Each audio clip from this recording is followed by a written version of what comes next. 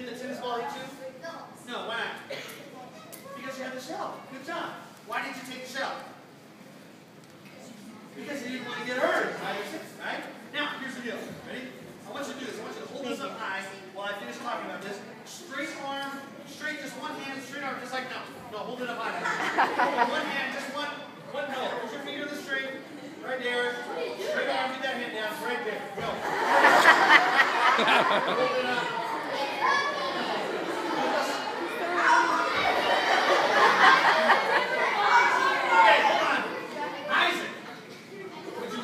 help you hold this. You want to do this by yourself, okay?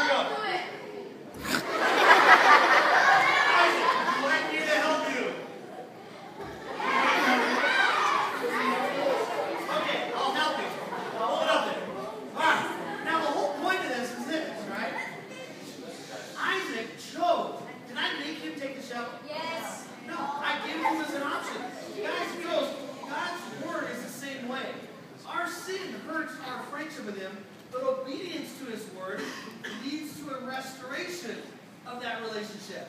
And there's one area in particular that has to be obeyed first. And we're going to talk about that, but not tonight. We'll talk about